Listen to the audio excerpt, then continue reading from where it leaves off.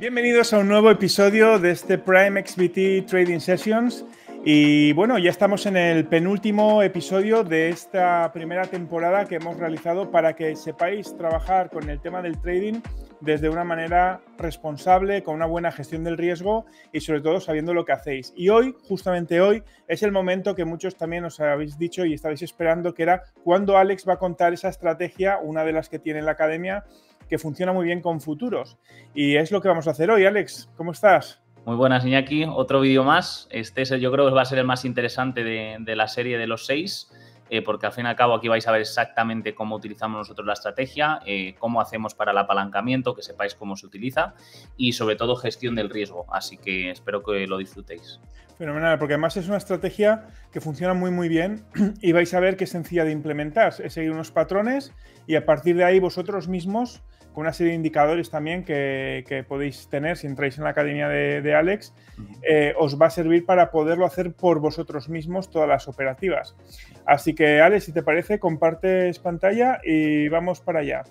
Bueno, estamos ya aquí en el, en el exchange, estamos en XBT, un poco de resumen lo que comentamos la semana pasada, al fin y al cabo lo más importante es lo que vemos aquí, eh, la moneda que vamos a seleccionar para operar y luego el apalancamiento, que ya os dije el otro día que nunca utilizamos apalancamiento eh, esto eh, cross, utilizamos siempre el apalancamiento aislado que es fundamental, porque veis que aquí si pongo el cross, os expliqué la semana pasada que esto es básicamente te va cogiendo dinero de tu capital global y no tienes liquidación, básicamente te va cogiendo todo. Sin embargo, si lo tienes en aislado, lo máximo que puedes perder es lo que estás invirtiendo siempre y lo que dije la semana pasada en el order value, ¿no? Si estamos hablando de, Cardano, por ejemplo, y yo pongo aquí 30 eh, Cardanos, lo máximo que yo puedo perder es 0,004 eh, bitcoins en, este caso. Así que es importante eh, que, entendáis bien. Si no lo, eh, no lo visteis, en el vídeo de la semana pasada estuvimos comentando eso, ¿vale?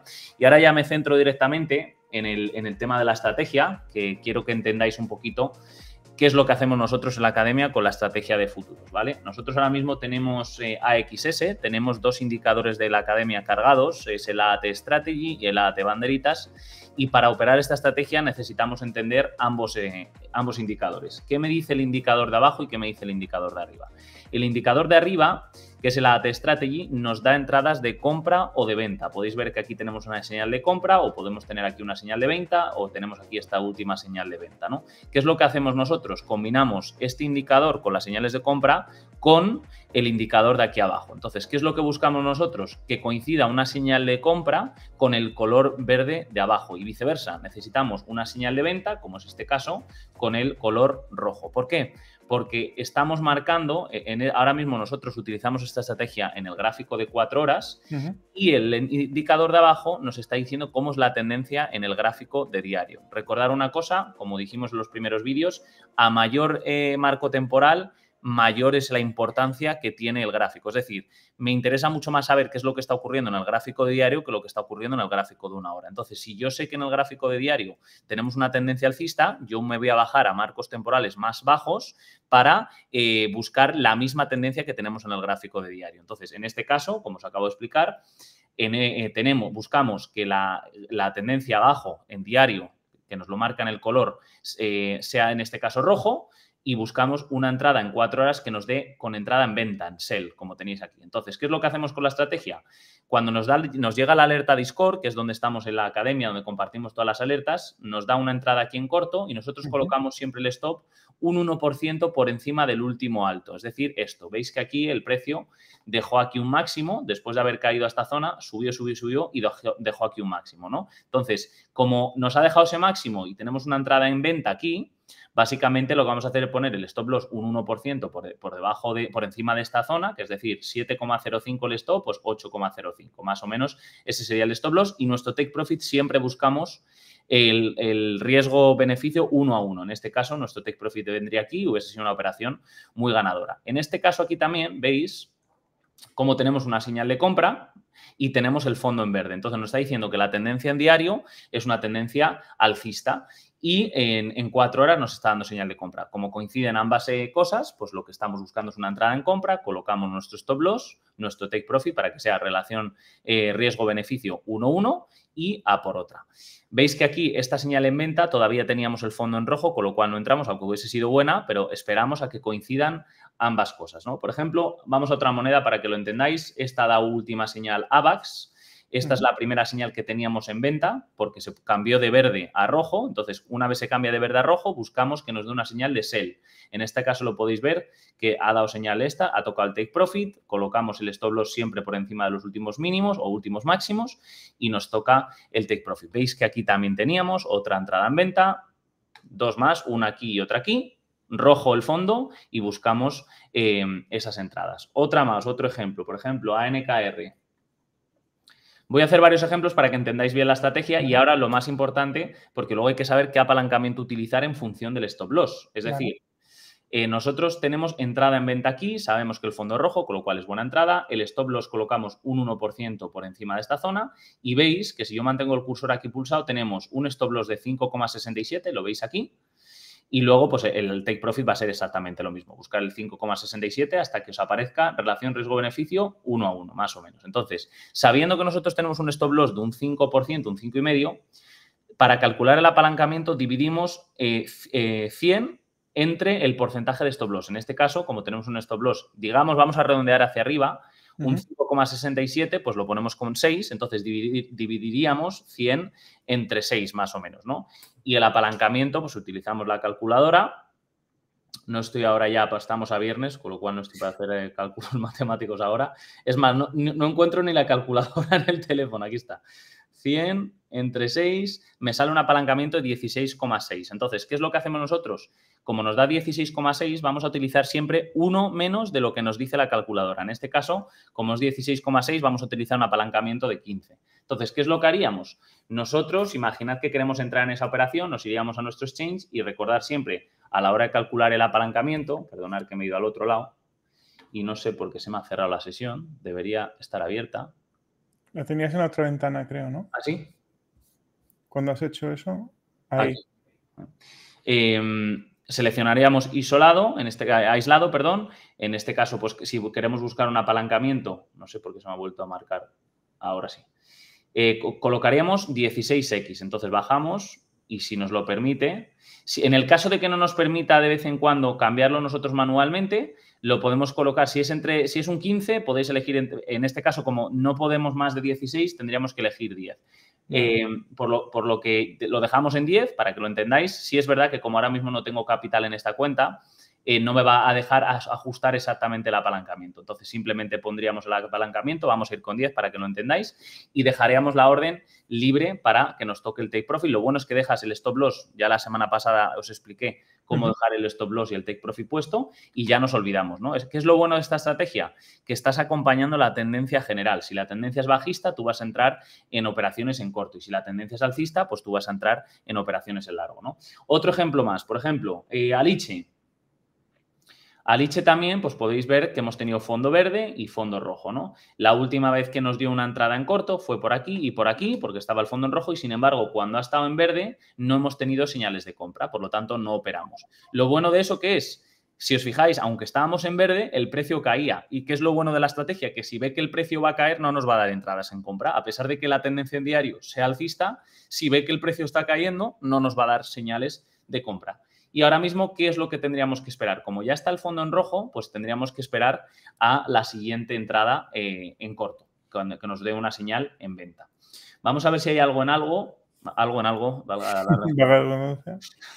eh, tenemos, eh, hemos tenido un momento en, color verde, podéis ver aquí, luego hemos tenido señal en rojo, con lo cual podéis ver que se ha ido para abajo, y esta última dado, que ha llegado obviamente a la, academia, al Discord, señal en corto, veis que tenemos un stop loss que hay que colocarlo por encima de este último máximo. Si es un 11,41, pues añadiríamos un poquito más, un 12,5 y buscar siempre el, 1,1, ¿no? Y ahí tenemos el 1,1. Como es un stop loss del 12,5, hacemos lo mismo, dividimos 100 entre, entre 12 y nos sale un apalancamiento de 8, pero como siempre hacemos uno menos, en este caso sería un 7x de apalancamiento. Entonces, en este caso, ¿qué es lo que ocurre?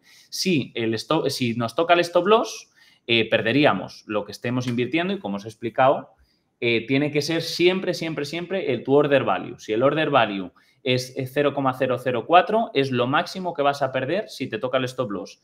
Y el take profit puedes generar más si tú colocas el, el take profit más abierto de lo que es el 1,1. Pero nunca vas a perder más del 0,04. El order value es lo más importante que tenéis que tener claro en la estrategia. Order value y sobre todo el tema del apalancamiento que sea aislado y no cruzado. Porque aunque el order value sea 0,04, si vosotros tenéis el apalancamiento en cruzado, ya el order value es infinito. O sea, todo lo que tenéis en la cuenta lo podéis perder. Por eso es importantísimo siempre colocar aislado y saber lo, que, lo máximo que estáis dispuestos a perder por la operación.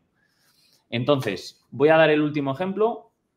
Y de capital, el 1%, habíamos hablado en los otros. Eh, Exacto, de capital siempre el 1% por operación. De esa manera te aseguras que aunque pierdas, eh, tendrías que perder 100 operaciones, que eso no ocurre porque tenemos una tasa de aciertos ganadora, tendrías que tener muy mala suerte para tú perder eh, en algún mes, ¿no? O sea, tenemos una estrategia que por eso funciona, porque tenemos una gestión del riesgo buena y, por ejemplo, aquí vais a ver una operación perdedora, que no todas las operaciones son, ganadoras, ¿no?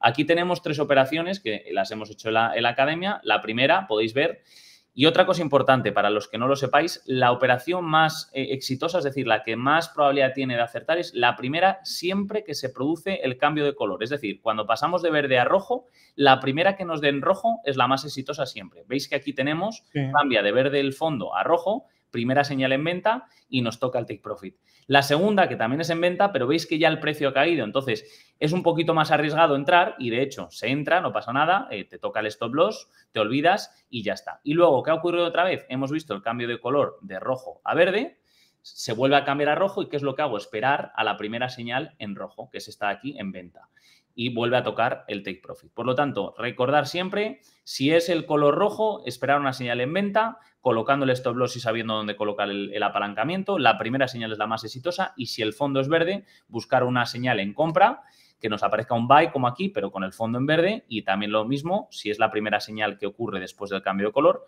es la más... La más eh, porque, ese primer sell está justo en la intersección, ¿no? Está incluso en el verde. Este justo que ves aquí todavía está en verde, por lo tanto, no prefiero no entrar, aunque es una operación, hubiese sido hiper ganadora, ¿no? Pero muchas veces es mejor esperar a que confirme de verdad la tendencia, ¿no? Porque estamos en el intradía en cuatro horas. Y para que la gente pueda tener esos algoritmos, eh, tiene que entrar a la academia tuya. Sí, con el plan básico de la academia te damos acceso a todas estas estrategias, te damos acceso a los dos indicadores y obviamente todos los videotutoriales que necesitas para, poder operar eh, con esta estrategia, sabiendo dónde colocar el apalancamiento, dónde colocar el take profit, todo ese tipo de cosas lo tenéis en la, en la estrategia dentro de la academia.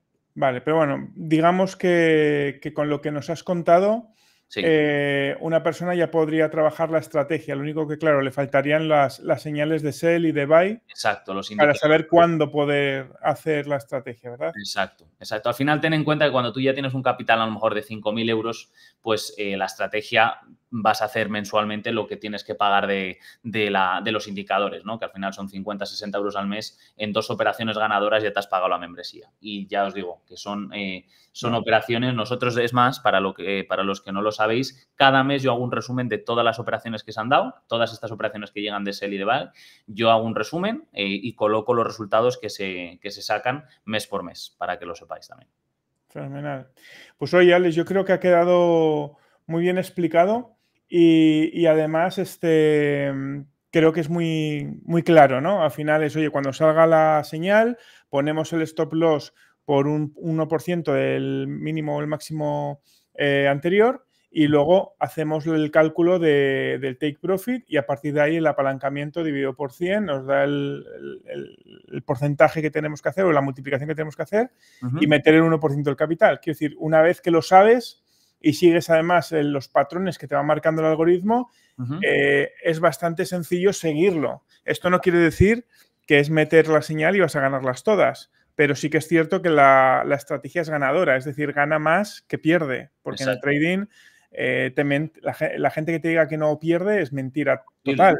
Imposible, Al contrario, normalmente. Entonces, una, tener ya una estrategia ganadora ya es un punto favorable. ¿de Totalmente. Entonces, bueno, eh, Alex, yo creo que, ha quedado perfecto la, explicación de la estrategia. Eh, a todos los que nos estáis viendo y habéis llegado hasta el final, pues recordad que podéis daros de alta en, en Prime XBT. Os tengo aquí debajo justamente, bueno, me he quedado congelado por lo que estoy viendo. Pues, Eh, pues aquí debajo tenéis la posibilidad de...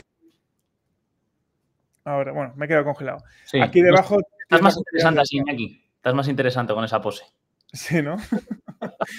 pues nada, aquí abajo tenéis el link. Os dais de alta, utilizáis Prime XBT y luego seguís todos los consejos que Alex nos ha ido dando a lo largo de, de todos estos directos. Y el de la próxima semana va a ser muy, muy, muy importante porque vamos a hablar de la psicología del trading, que es de lo más importante, porque no solamente tienes que saber cómo funciona eh, el tema de las estrategias y la parte táctica o técnica, sino también la mental. Así que, ah, oye Alex, muchísimas gracias y A nos vemos la próxima semana. un placer. Espero veros la semana que viene. Hasta luego.